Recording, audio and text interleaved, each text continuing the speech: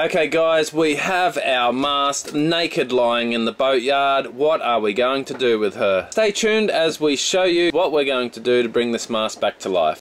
We're an Australian family that set off on an adventure of a lifetime. We hope these little videos make you smile and inspire you to chase your dreams. Subscribe to join us and our travels as we share our life on the sea.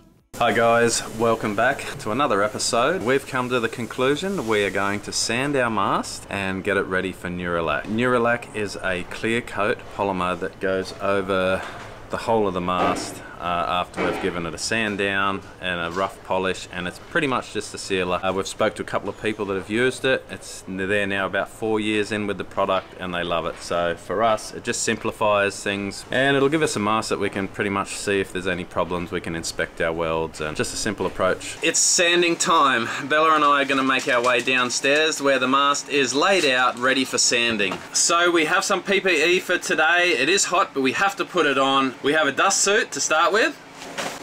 Uh, second of all, we have a respirator. Here it is.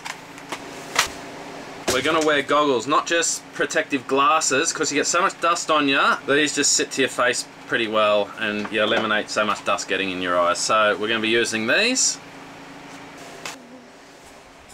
We don't have our protective coating for the mask at the moment. Once we've got our finish that we're gonna put on the mast, and do a light rub down of the mast and that'll be our final prep which will be like with maybe a 600 and as soon as we've done that we'll apply our sealer straight over it. Bella and I for today is just going to be either an 80 120 and then Bella follow up with like a 220 240 something like that and just get it pretty much cleaned up ready for the final steps.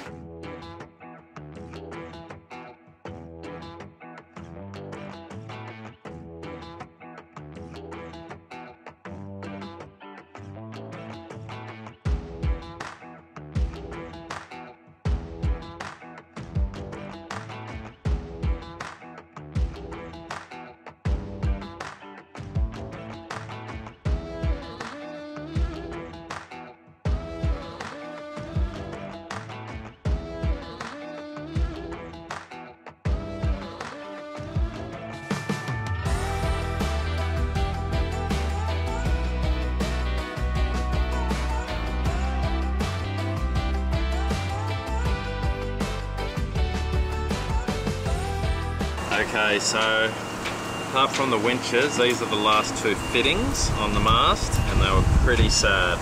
This is the boom vang and you can see a mass amount of corrosion here. Uh, half of these screws were just slipping in there so I'm gonna have to tidy this up and see what we got and probably oversize the screws and tap some new threads in so that's good. And then the same with this one. This one wasn't as bad but believe it or not, it did have um, nuts and bolt. Uh, it was actually bolts with nuts on the back. I don't know how they got them on. They got them on through this little hole, which is going to be a nightmare for me. But I'm thinking I may just, again, oversize this and just tap some threads in it and uh, bolt it up. So we'll have a look at that more once that's cleaned up. We're down to here. This is just the last couple of meters of it. And uh, then we can get all that polished up once we flip it over do the other side, of course. We're here all winter and we could have done this in the winter but we did have an opportunity arise with the rigging. Hence why we're doing it now in the summer. Is what it is. It is what it is. We couldn't miss an opportunity to get our rigging done and it did need doing and all these little jobs need doing. We just don't want to be here any longer. We've got boatyard blues. We want to get back out in the water. Last bit last bit. Push on through. You got this baby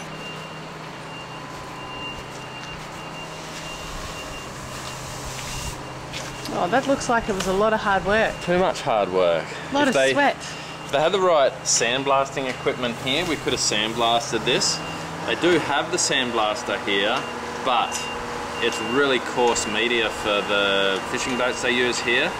And I spoke with a guy about two weeks ago that just done their mast and they had it sandblasted and their intention was to leave it raw but after the sandblasting it was so etched, the amount of sanding they would have had to do to get a, a reasonably smooth finish back um, was too much, so they instead had to paint their mast. So we decided just to sand it and uh, we'll go from there.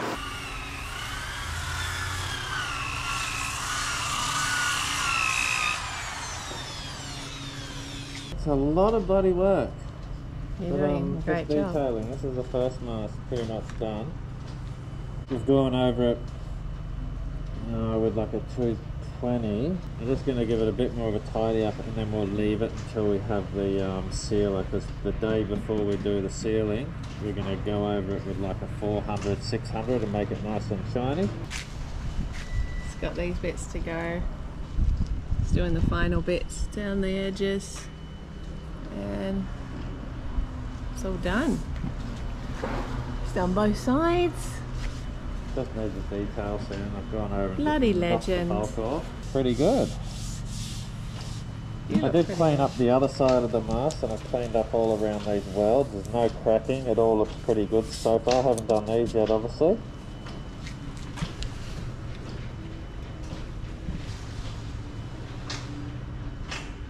Clean up around here and have a check all these welds and everything looks pretty good. There's no cracks. There's it all. There's a couple of bits of corrosion here and there, but all in all, it looks pretty bloody good. The stuff that was originally done on the boat is held up really well. Like all the tangs and that had a beautiful rubber divider between the mast and the stainless. And they were perfect. It was just all the add-ons that have been done over time that haven't had like Duralac or or the compound that's been used has just worn away with age. It is twice as thick as a normal mask, so this definitely doesn't hurt taking a little bit off to clean it up. So we just, uh, Bella just cleaned up all the paint at this end because this is the inside part of the boat. And we're going to leave that painted. And that's where they've sanded to. He's just going to sand back this part and put the sealer on the end as well because that's right down the bottom. It's not too bad. Yeah, so I don't know what it looks like on the camera, but it's it's just a little bit of surface corrosion. Any water and moisture that sits down the bottom over the years have gotten underneath the paint. Pretty good. Well, once I run the um, sander over that, there's no inconsistency in the thickness here. And now Dad is on to the mizzen.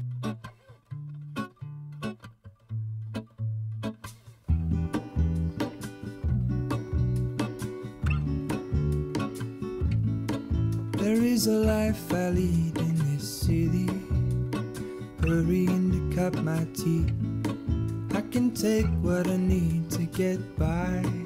It doesn't make it easy. The other piece of my heart moves slow, somewhere in the great unknown. When I return from the afterglow, will you carry me like I am whole Wait, hold on. Put me together, take me back where I belong. I want it all.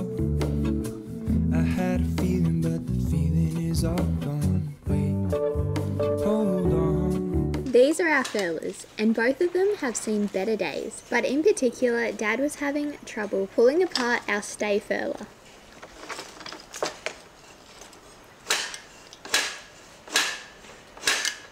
Alright, it's a little bit noisy, but the goal for today is we're going to strip back all this peeling paint, obviously common with paint and aluminium, that's what happens.